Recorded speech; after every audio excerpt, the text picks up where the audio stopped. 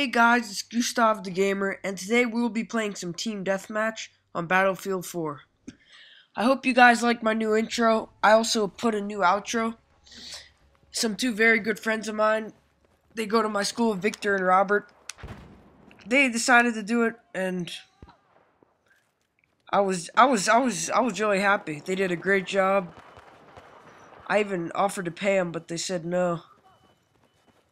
So right here, we're jumping into a game. We're down by nine. And Battlefield, it's a lot harder than Call of Duty. I sort of, uh, not that good at it, but it seems like more of a PC game by the way you jitter as that guy kills me. But what I mean by jitter is like, it, it just, it's not as smooth as they try to make it more realistic. But the jittery movements, as like in this game, you'll see me miss shots and stuff. It's just not that smooth. I'm using the AKU-12. It's my favorite carbine. I unlocked it recently. And the stability is so high, so it's really accurate. As that guy steals my kill. And this weapon, it's... It's just like a short version of the um, AK-47. It's extremely powerful, versatile overall. I highly recommend it. And I've been also experimenting with the with the different grenades and stuff. And there's just so many situations where I just suck with grenades, just can't get the kill. So that's just because all the other grenades, as I get that nice long range kill, but all the other grenades, they're just, they have such a low blast radius, you have to pretty much directly hit them with it. And I, so I just chose to use the default one, which has a regular blast blast radius, so I get more kills, really.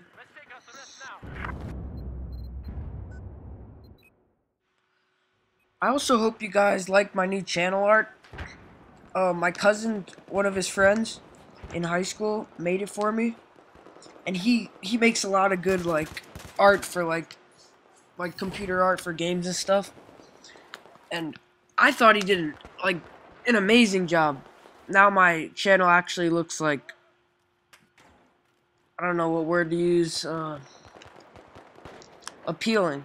Because all my subscribers are pretty much people I know but I've started to get people that I didn't know which is good. So maybe I can get bigger in YouTube and stuff. So back to the game.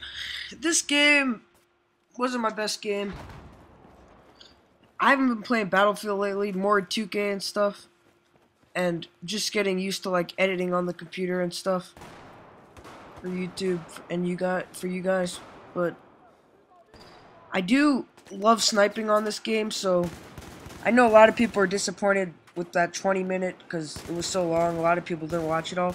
But my last Battlefield video, if you didn't watch it, go check it out. I'm not recommending watching the whole thing because it is 20 minutes long. But a lot of people wanted me to just use the sniper. As I said in the beginning of that video, I rely on my pistol a lot. A lot of people wanted me to just use the sniper, which I probably should have, but I was just going for the kills. and trying to get some good stats. And right here is a cool part. I get that kill as I unlock the laser sight. And I know someone's there.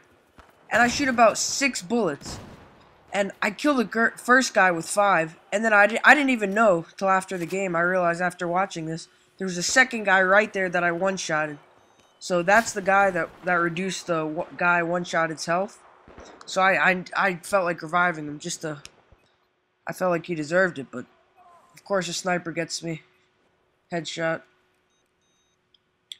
Right here, I just take him out, trying to test how to use them, because I thought it was instant. I didn't know you had to rub them together to charge them first. And there's, I forget the name of the perk, but there's a perk class that it makes that process like two times faster.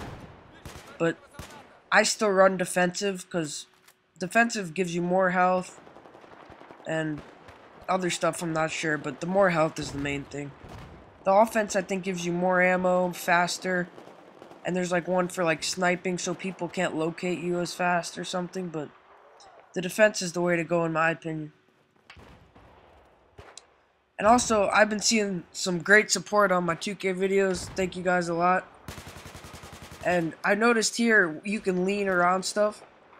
I think Call of Duty sort of stole that from Battlefield because Call of Duty tried to make their gameplay more interactive. But you can't really get more interactive in a shooting game than Battlefield. And I just missed all those shots. And then I shoot him like four times with a pistol, doesn't die. So I go to chase him thinking he's up the corner, but he's not. Just gonna rush him with my AK-12 or whatever it's called. AKU something. And at first I thought this was a submachine gun, but no, as I failed with the grenade. But, because I remember all the way back in Black Ops 1, this gun was used often with like grip and stuff. It was like the most accurate, like one of the best guns. Here I just go for the height point. I love going in buildings because I call, I'm pretty much a sniper on Battlefield. So that's where I like to get my vantage points, advantage points, but is that guy just probably quick scope me or something?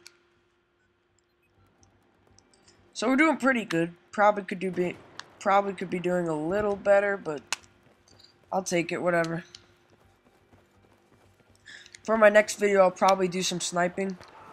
I'm probably like a mid game mode. By that I mean like Team Death as a small, and then Conquest as a large. I could, probably could do Conquest and just snipe, but I don't know. Maybe some domination. Because Team Death is like 10v10 or something, I'm not sure. But Conquest is like 32 versus 32. And Domination's like 16 on 16 or something.